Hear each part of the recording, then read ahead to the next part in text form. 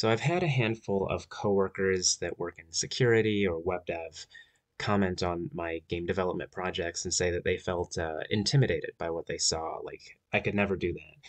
And I wanted to try and demystify a bit about what game development is actually like. And I could have made a straw man argument and talked about uh, Unity engine and the, the physics engine that they give you out of the box, or uh, the 3D stuff that's abstracted from you. Uh, but I figured I'd I'd rather make a steelman argument and show some of the more heavy duty code that I've done from scratch and how even this quote unquote heavy duty stuff is still actually pretty manageable. And beyond that, even if you do feel intimidated, you know, this is the kind of thing where I went and I reviewed some old high school trigonometry to write this code. And then I finished it and then I forgot all about it and moved on to more high level design decisions. So that demo you just saw earlier, that was running off of this code. It's only about 30 lines of code. This is written in ActionScript, but most of this should be pretty readable regardless of what languages you're familiar with. So to start off, we're defining a handful of variables. We have uh, x move and y move, which is our horizontal and vertical momentum. We have gravity, which is a constant force that is going to act on the ball. We have our radius, which I'm getting through the height. Uh, the height of the movie clip can be gotten through this property, which is of course the diameter for a ball, and I'm dividing it by two. And then we have an array of points, and uh, these points are just a bunch of different angles along a circle you can see, you know, 0, 30, 60, uh, 45, 60, 90, and all the way around. And uh, mostly the, the idea with getting these points is that we want to convert all of these angles into x and y values. Uh, and if you remember your high school high school trigonometry, uh, you know that we have our uh, our cosine, which is our our adjacent length over the hypotenuse and our sine, which is our opposite over the hypotenuse.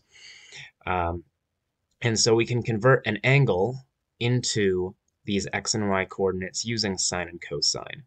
So we create a, an array to hold all of these values as we generate them. We loop through all of these points. As we go, uh, these sine and cosine functions require uh, an argument in radians. So we do our conversion here. And then we just drop the cosine and sine into x and y values on this new object and uh, add this new object into our array. We're storing them as xy values because we need the xy values of these points because these are, are essentially the collisions that we're going to be checking for in order to apply force. Uh, so moving on, we have on enter frame equals function. This is an ActionScript term that essentially means that all of the code within this block is going to be executed every frame indefinitely, forever.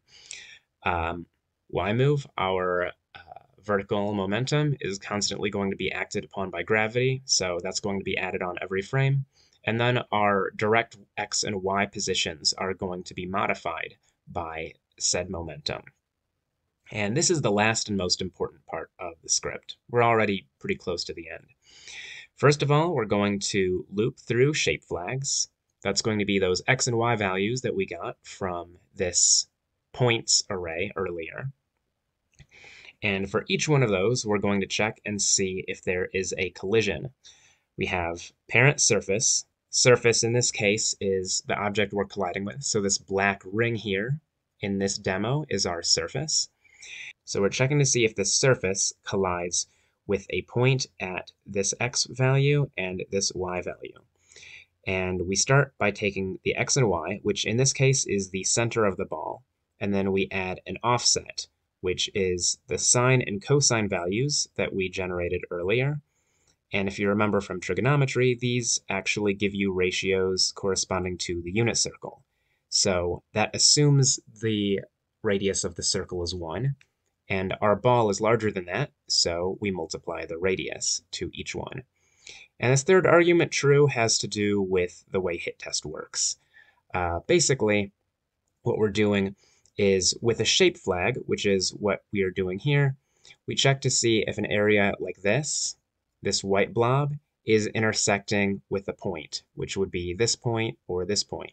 For this instance, it would return false because there's no intersection. For a case like this, you would return true. If this third value were to be false, then it would instead be checking to see if a point is colliding with a bounding box around the shape. It's a bit more performant, but for our cases, we need uh, a bit more accuracy because if shape flag were to be false, uh, we'd have something like this return true because this dot, despite not being within this shape, is actually uh, within the bounding box. So with no shape flag, this would be considered a collision. So with all of that in mind, we are looping through every point, and for every point, we check to see if that point is colliding with our environment. If it is, we push the entire ball back in the opposite. Here we have a negative, and here we have a positive. We're pushing it in the opposite direction of that offset. So you can imagine, for instance, if uh, our ball is touching a slope like this, it's touching the slope here, and so we want to push the ball back out this way. And then on top of pushing the ball directly, we do this so that the ball doesn't immediately intersect and fall through the environment. We also add this same offset to the x move and y move values. We want it to influence the momentum so that the ball will actually go along uh, a surface or roll along it. Now, at first, this might seem a little counterintuitive, for instance, if you have this ball intersecting here, then it's going to push the ball out this way. But keep in mind that force vectors are additive. So you have a force coming out here, but it is being added on to the constant pull of gravity down here. And so you have something in between that leads the ball to roll this way.